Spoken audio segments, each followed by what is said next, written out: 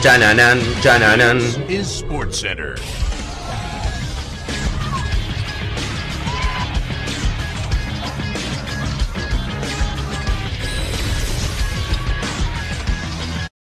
Hola gente, ¿cómo andan? Un saludo grande para todos, yo soy Sanio, les traigo un nuevo video. Hoy vamos a arrancar una nueva serie en el canal, en el cual vamos a estar repasando los 7 peores refuerzos en la historia de Pep Guardiola. La serie, obviamente, Guardiola es el capítulo número 1, pero la serie iría de repasar en cada uno de los equipos en los cuales un técnico puntual, que va a ser el del capítulo, estuvo dirigiendo, tuvieron los peores refuerzos o los peores fichajes durante su mandato. Hoy arrancamos con Guardiola, si la serie les gusta y llega a 2500 likes como les pido siempre, la semana que viene podemos tener Mourinho, podemos tener Klopp, el que quieran, o inclusive un técnico argentino, el Cholo Simeone, el Bielsa, el que les ocurra. Lo único que tienen que hacer es dejar su me gusta y proponer un técnico en los comentarios. Si la serie le copa, a mí me encanta el formato, así que seguramente lo vamos a seguir haciendo. Síganme en las redes sociales, suscríbanse al canal, tienen la campanita y arrancamos con el video.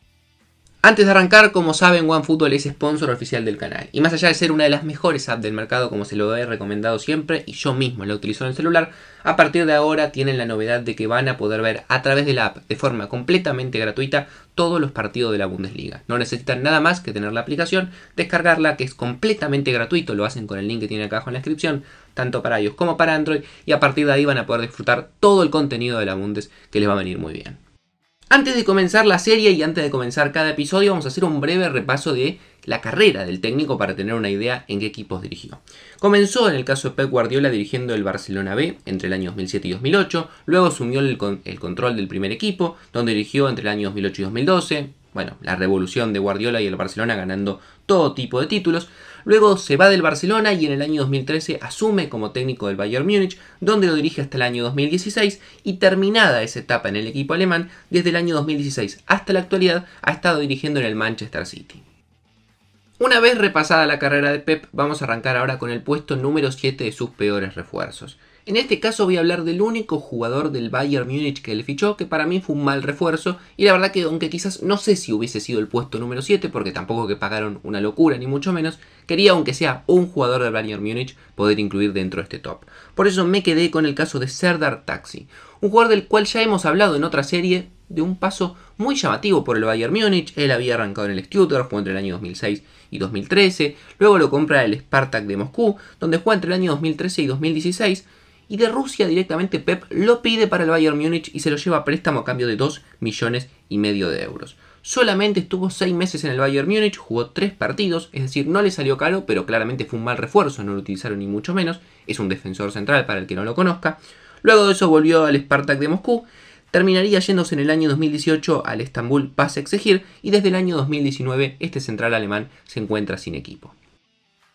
Puesto número 6, y vamos a hablar ahora de un fichaje del Manchester City. Vamos a hablar del chileno Claudio Bravo.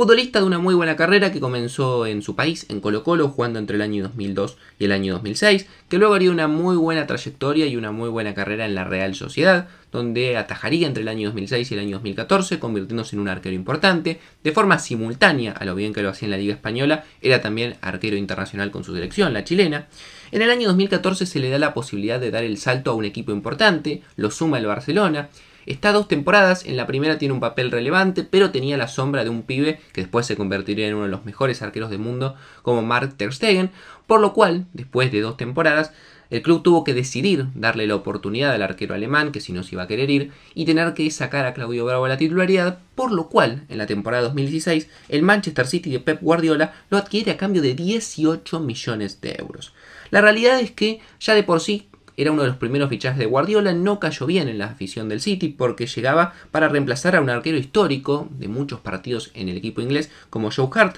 bajo la premisa de que Claudio Bravo era mucho mejor con el juego con los pies, algo que era fundamental en el juego de Guardiola. Hart se va al Torino, se queda Claudio Bravo, que solamente atajó con continuidad en su primera temporada, en la 2016-2017. En esa temporada ataja 22 partidos en Premier League, tiene varios errores, es una mala temporada para él, y luego de esa temporada el City decide ir a buscar otro arquero, que es el arquero que tiene actualmente, el brasileño Ederson, y a lo largo de sus cuatro años atajó muy poco, solamente en la FA Cup y también en la Copa de la Liga, por lo cual Claudio Bravo fue un mal refuerzo, le salió muy caro, y para colmo después se terminaría yendo libre al equipo en el cual ataja actualmente, que es el Betis de España.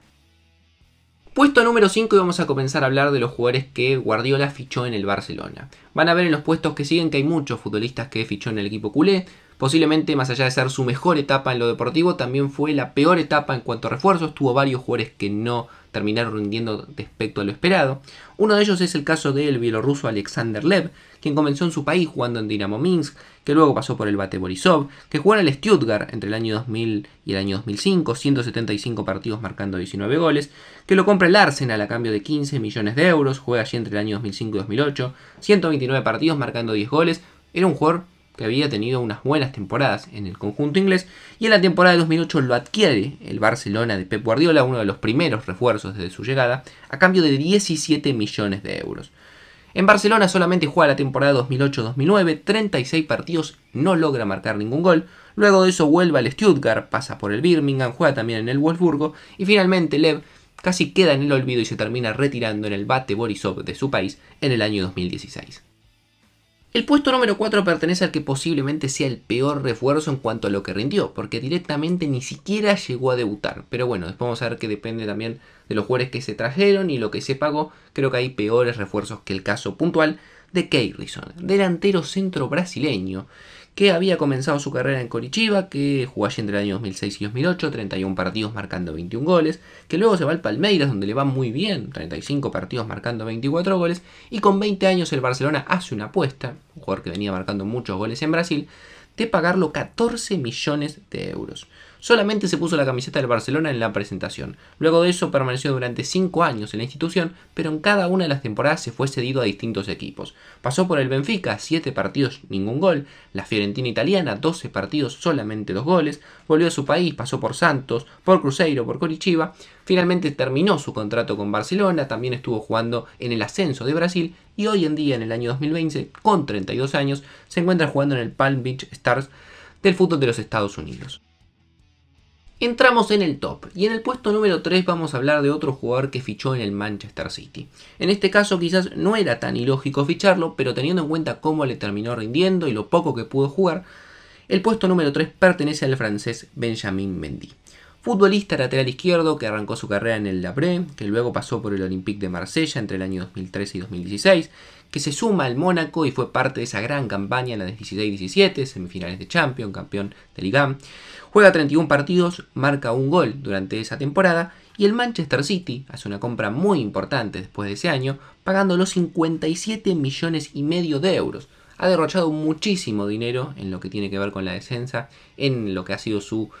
4 o 5 temporadas como técnico del equipo inglés y uno de los fichajes más caros que tuvo es el del lateral izquierdo Mendy. Sin embargo, tuvo muchísimas lesiones, después aparecieron otros jugadores como Sinchenko, hoy en día también juega con Joao Cancelo como lateral izquierdo. La realidad es que desde el año 2017 hasta hoy, que son casi 4 temporadas, Mendy solamente ha podido disputar 60 partidos y ha marcado un gol. Un futbolista que llegaba a parecer una de las grandes revelaciones en el lateral izquierdo y que lamentablemente no pudo cumplir. Puesto número 2, y uno que sin duda no podía dejar afuera porque es un refuerzo 100% exclusivo de Guardiola y que además al Barcelona le salió bastante dinero, es el caso de Dimitro Chigrinsky. Futbolista ucraniano, defensor central, creo que muchos deben conocer la historia, hace un par de semanas hablamos de él en un video del canal, que arrancó su carrera en el Shakhtar Donetsk, que jugó allí entre el año 2004 y 2005, que luego se pasó a préstamo por el Metalurg de su país, volvió al Shakhtar Donetsk, jugó allí entre el año 2006 y 2009, Ganó muchos títulos en su país, era un jugador que era considerado una promesa ucraniana, fue campeón inclusive de la UEFA en el año 2009. Y Guardiola, que lo había visto en varios enfrentamientos que había tenido entre el Shakhtar y el Barcelona, había quedado nubilado con su rendimiento. Lo fue a buscar en la temporada 2009, el Barcelona paga 25 millones de euros por este central, que solamente duró en el Barcelona una temporada. Jugó 14 partidos, errores puntuales, claramente no se adaptó el equipo, hicieron que después de una temporada el Barcelona lo vuelva a vender nuevamente al Shakhtar Donetsk, pero en este caso a cambio de 15 millones. Digamos que dentro de todo le salió barato, porque el Barcelona pudo recuperar parte del dinero, pero la verdad es que debe quedar en el recuerdo como uno de los peores refuerzos que ha tenido la historia del Barcelona. Jugó varios años más en el Shakhtar, luego de eso pasó por el Dnipro de su país, y hoy en día se encuentra jugando en el AEK Atenas del fútbol de Grecia.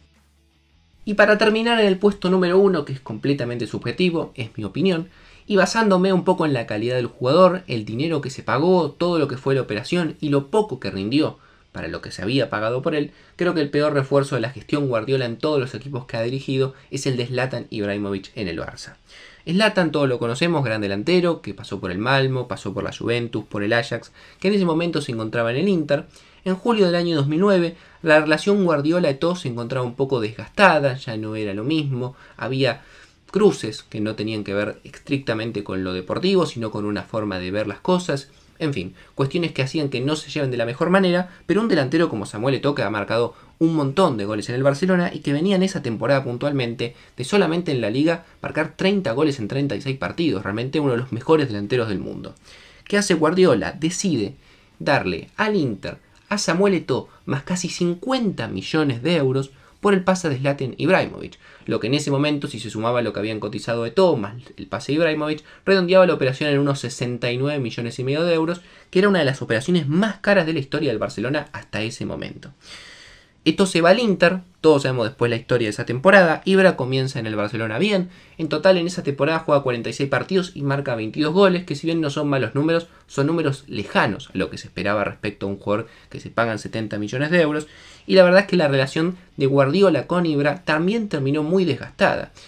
El punto de quiebre que todos mencionan fue la serie en semifinales frente al Inter en la Champions, donde Ibra termina siendo reemplazado por Avidal en un momento en el cual el Barcelona necesitaba ir a buscar un gol y en el segundo partido tampoco logra desequilibrar ni mucho menos y termina saliendo por Boyan que a la, a la larga, en lo que quedaba esa temporada, termina ganándole el lugar como titular e Ibra se termina yendo cedido al Milan. ¿Qué pasó con Eto'o? Esto termina siendo campeón de la Champions con el Inter y la verdad que quedó en el recuerdo como uno de los peores cambios que ha hecho el Barcelona, porque Ibra, si bien era un gran futbolista, no rindió y toda esa misma temporada se terminó coronando campeón de la Champions con el equipo italiano. Luego de eso han habido un montón de peleas que tienen que ver con discusiones Guardiola-Ibrahimovic. La relación nunca quedó bien y creo que por eso puntualmente también es el peor refuerzo que ha tenido la gestión Guardiola a lo largo de estos años. Así que no mucho más para decir, espero que les haya gustado la idea del video, que si quieren que hablemos de otro técnico, que como les dije, puede ser Mourinho, puede ser Klopp, por nombrar algunos de Europa, como también pueden ser técnicos argentinos, como el caso de Bielsa o Simeone, o el técnico que se les ocurra. Déjenlo en los comentarios y por favor que el video, porque es una nueva serie que comenzamos, llegue a, llegue a los 2500 me gusta. Si llega a esa cifra, seguramente la semana que viene vamos a tener un próximo episodio. Muchas gracias por verlo, síganme en las redes sociales, suscríbanse al canal, de la campanita. Y yo por hoy los dejo y nos vemos mañana en otro.